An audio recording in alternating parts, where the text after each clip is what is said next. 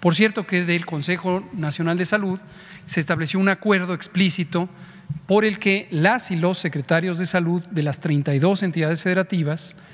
integrarán nuevamente una revisión del censo nominal, persona por persona, de sus entidades federativas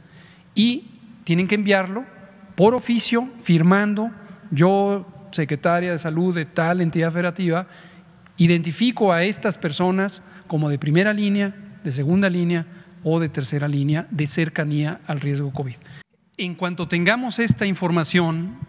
avalada, validada, firmada por las y los secretarios de salud de las entidades federativas, vamos a poder tener mayor claridad sobre cuántos falta de vacunar. Esto lo destaco porque,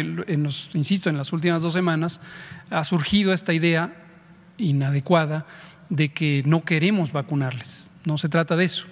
El asunto es que la identificación correcta, validada, respaldada por alguien que se haga responsable administrativamente de decir, estas personas sí consta que están haciendo una actividad de primera línea o de segunda o no, en una de tercera, es lo que no ha estado completo todavía.